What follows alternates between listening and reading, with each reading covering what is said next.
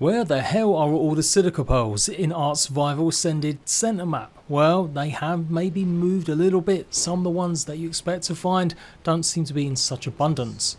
But don't panic, I've done the legwork so you don't have to. I'm going to show you the two best places to get them without a donkey. Whoa there Jade, donkey? Don't you mean angler? Yes, I do mean angler. I don't know why I kept calling it a donkey. I had to re-upload this video because I realised after someone commented I was having a brain fart. But here we go. You don't need an angler to get lots of silica pearls, but it certainly might help. So to be clear, if you're looking at any old maps, especially maybe even on the wiki showing the center map for Ark Survival Evolved, you will see a plethora of different locations to go and get silica pearls.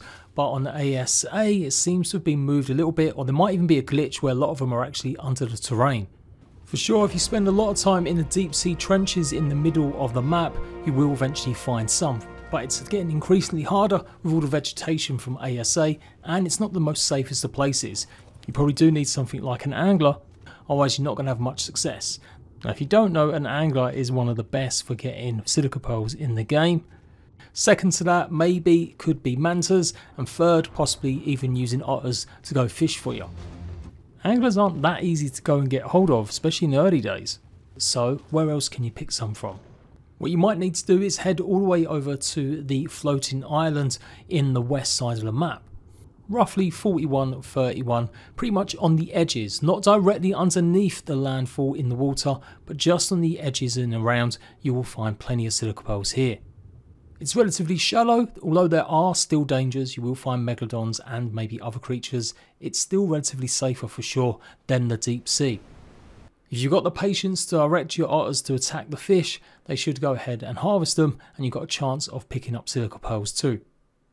Otherwise there should be more than enough to get you started for whatever you really need to craft just by hand picking them yourself. So maybe option 1 for getting a lot of silica pearls without using an anglerfish.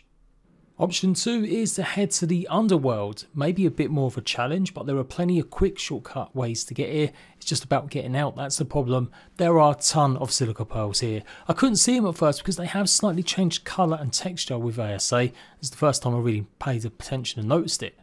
If you don't know what the underworld is, I've done a guide on accessing it if you're fairly new to Ark, but it's basically a huge series of caverns and caves with this giant basin with waterfalls, and this is where you'll find a ton of silica pearls too. And even better, there's even less dangers here in the water than where you'll find under the floating island. The worst thing you're going to come across is more than likely some manta rays. And for whatever reason, if you're not using cryos, then you can go ahead and get to this place with a water creature. There is a series of underwater tunnels that will take you here. So 6546, go directly down, and we are going to need to go past the shelf here, you can see where it starts getting even deeper you start to see some of the bioluminescent pink seaweed and you'll know you're on the right track. And in the cliff face there should be two openings. This takes you into a larger cave and what we're looking for now is some blue crystals. That's going to take us to the actual corridor all the way through. Like I said, there's plenty of easier ways to get here, but if you want to bring the donkey, this is pretty much one of the only waterways at least as some of the other places you have to go through small air pockets. And then it's just a case of following, keeping the crystals on the ceiling as guide, or the little cracks here. You'll also realise and notice there might be even some actual silica pearls along the way. That's why if you look up any old wiki maps, it shows a bunch of these apparently on land. It's not, it's this river underneath that's taken us to where we need to go. Now eventually you can surface up and you'll realise you're in the main or large chamber pretty close to where you can get the jumping puzzle. Just keep the left hand sides close and you will find a smaller entrance again marked out by more blue crystals and this seaweed and this can take you into the next part.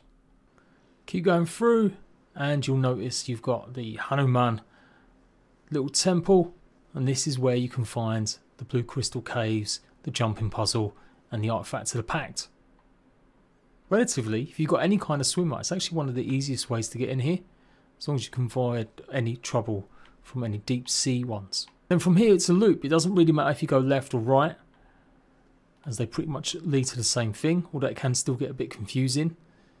The lighting might be a bit different for you as well. But heads at this kind of same level. Go all the way down and you'll notice there's some more blue rocks or crystals and another little underpass area. Again, if you're getting lost, keep track. At the bottom, you've got the pathway of the blue crystals. It's a pretty long tunnel, but eventually, loop round. If you swim up, you realise you're now in the underworld. It's quite a large area to find some, but it's still miles safer and better than some of the other locations. So with or without a angler, it's a great place to come and get a ton of silica pearls. I will link my guide to the underworld down below so you can find even more ways to get in there if you just want to go by land or like I said by flyer. So traditionally you can still maybe find a few now and then in some of the rivers close to the ruins in the middle of the jungle but there doesn't seem to be as much as there used to. This method's definitely a lot more harder, you're going to have to go to Volcano Island and look out for some of the rivers and lakes that you'll find here. I don't think this is the best place to get it because it's quite dangerous and it requires quite a lot of gear. And you certainly won't be able to bring a donkey unless you've got the cryos. But you never know. If you've got yourself a fairly decent Pteranodon and you just want to have a hop skip over, especially if you have spawned near Blue Ob, then it could be a viable option. Exact coordinates 1257. Another small lake more to the eastern side of Volcano Island, you'll find plenty here too, but again maybe more dangers. 1259. And the last place to check out on Volcano Island, of course, is more over to the west. Again, plenty of silica pearls in here too. 1850. So by all means, search on that ocean floor deeply using your anglerfish. Obviously, it will light up the way, and you may be able to find some. But there is just so much foliage around, I think it's really hard now to get some, especially in the deep ocean where it's dangerous. So far when I went around places like the Blue Lagoon, for near the Blue Ob, there wasn't any there when there used to be loads. And if you spawned on the Redwood Forest, then head all the way over to where the archway leads up to the cliffs, and you might find a few random small ones here too. 8577.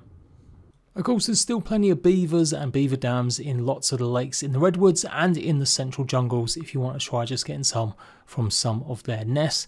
But yeah, if you want more than that, you are going to have to go to some of them places. Seems to have removed a lot also from some of the larger waterfalls in the north and the southwest as well.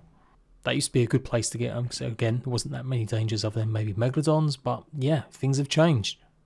Maybe it'll add more points, maybe it's something we're just missing. Like I said, it does feel like the terrain is just a little bit off Maybe that's why we're not seeing as many as we used to.